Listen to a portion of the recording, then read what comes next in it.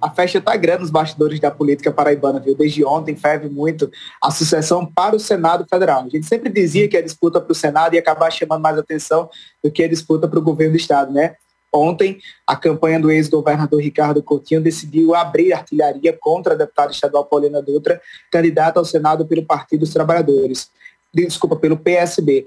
A cúpula do PT decidiu colocar na mídia, em cadeia de rádio e TV, é, conteúdos apócrifos, ou seja, conteúdos sem ter assinatura de quem é o ator, autor, conteúdos anônimos, com ataques a Poliana Dutra, associando Poliana ao bolsonarismo.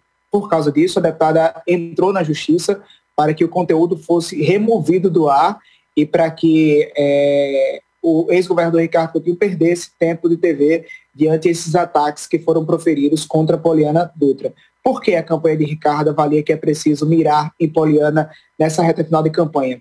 Com Ricardo Coutinho, que teve a candidatura indeferida, ou seja, ele está inelegível para disputar a eleição, é natural, é, o, o, caminho natural a ser feito é que o voto da esquerda migre para Poliana Dutra, já que Efraim Filho, Bruno Roberto e Sérgio Queiroz são candidaturas mais voltadas à direita. Então, Poliana Dutra passa a ser a, a, a voz da esquerda, centro-esquerda, nessa sucessão para o Senado. Por isso que a campanha de Ricardo decidiu abrir artilharia contra a deputada estadual. Por outro lado, na campanha bolsonarista, quem saiu ontem, quem rompeu ontem com, com o, o candidato ao Senado pelo PL, Bruno Roberto, foi o segundo suplente de Bruno Roberto, ou seja, o, o, o nome que foi escolhido para estar na chapa de Bruno Roberto, o pastor Isaac Venerando anunciou apoio à eleição de Efraim Filho, que é adversário de, de Bruno Roberto. Hoje, Bruno divulgou uma nota falando que o que está acontecendo nos bastidores da eleição, o que está acontecendo para poder se fechar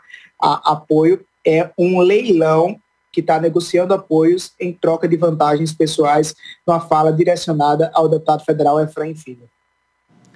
O Alisson, inclusive a política paraibana está borbulhando né, nessa reta final, faltando 11 dias para o primeiro turno. Mais informações logo mais às 18 horas no Hora H com Alisson Bezerra e Soni Lacerda.